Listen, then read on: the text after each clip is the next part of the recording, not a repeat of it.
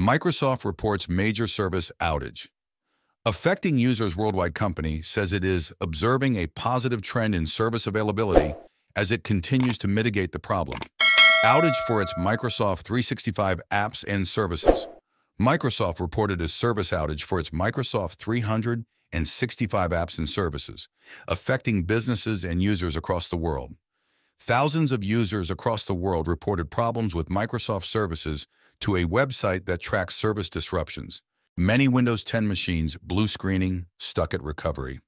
Wondering if anyone else is seeing this, we've suddenly had 20, 40 machines across our network blue screen almost simultaneously. Microsoft reported a service outage for its Microsoft 365 apps and services, affecting businesses and users across the world. We're investigating an issue impacting users' ability to access various Microsoft 365 apps and services. Microsoft 365 status said on X early Friday.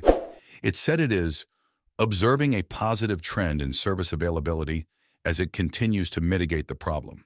Please subscribe my channel and stay tuned for get more updated news.